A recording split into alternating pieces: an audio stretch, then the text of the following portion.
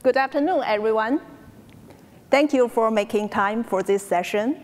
My name is Fan Zhao, and I'm supporting the PyTorch engineering team at Intel.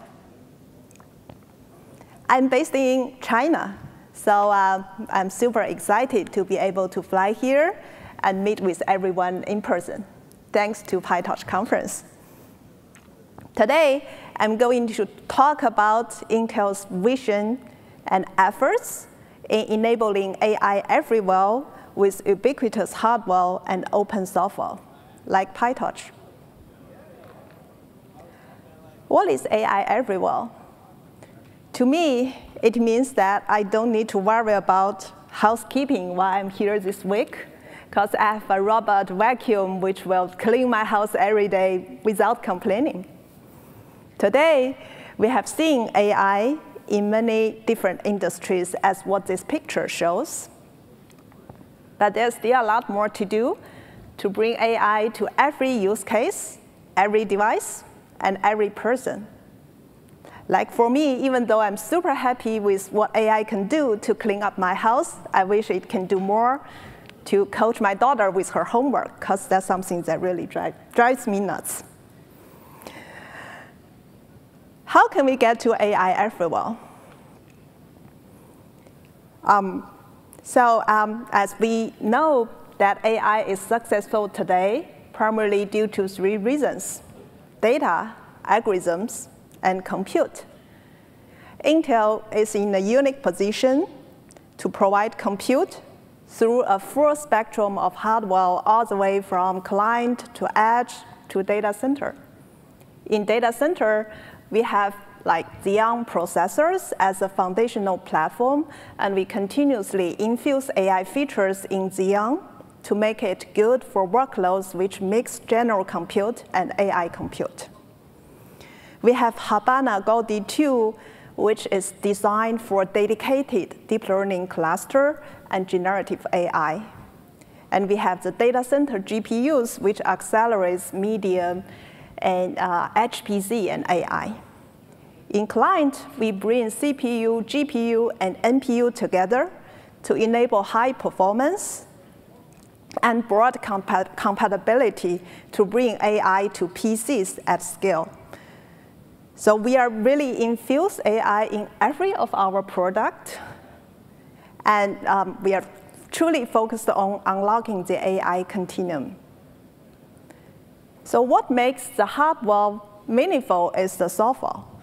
So the open ecosystem is inherent in Intel's strategy, and we believe deeply in the power of open source community. AI is no difference.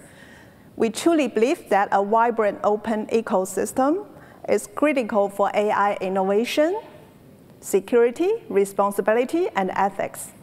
What I put on this page, definitely not a full list, but just some examples of open source projects that my team contributes to to ensure that the users of PyTorch and these libraries and uh, models are able to get out-of-box experience and highest level of performance on our hardware portfolio.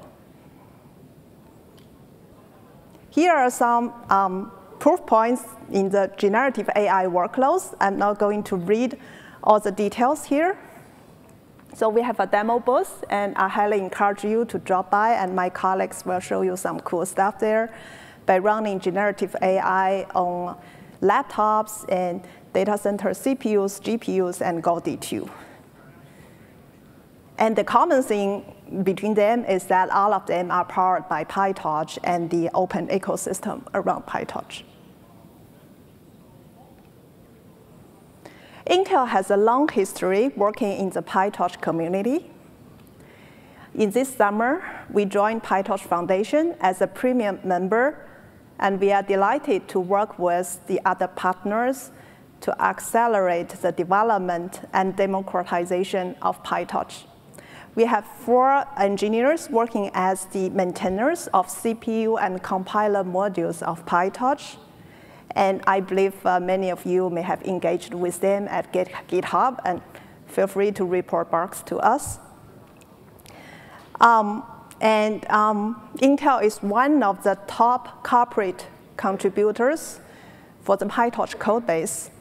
For PyTorch 2 stack, uh, we send a lot of optimizations and advance the performance of the Torch Inductor CPU backend. And we also maintain an out-of-tree open source Dynamo backend called IPEX. Well, we uh, staged some additional optimizations for CPU and also provide GPU support there.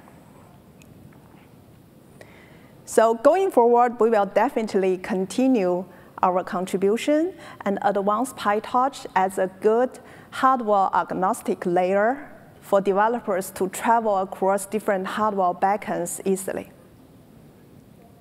With that, I'm wrapping up my talk, and let's work together to bring AI everywhere. Thank you.